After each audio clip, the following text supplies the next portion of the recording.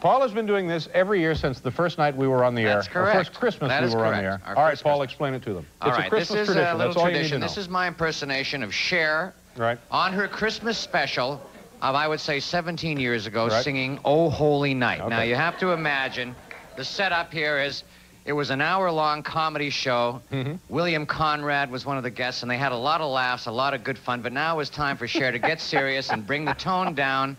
And she was in a very beautiful Victorian Oh. overcoat with a, with a muff. Right. And uh, under a street lamp, snow was falling. With a muff in Yeah, the that's right, the muff, yeah. That's right. But- the biggest laugh of the night Yeah. is the word muff. Thank you. A thing, that means a fur thing that goes we around know what it means. Now, the snow is falling, Yeah. street lamp is shining on her, symphony orchestra is playing the vamp. Do, do, do, do, do, do, do, do, do, do. And she begins to sing. Do, do. Oh, holy night, that's so brightly shining on. And that I never Yes, forgot very it. nice, Paul. Very nice. Thank you very much. I never forgot that.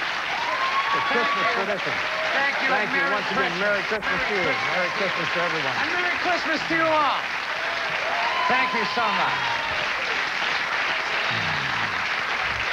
Oh, man, the little story about the Christmas muff always brings a tear to my eye.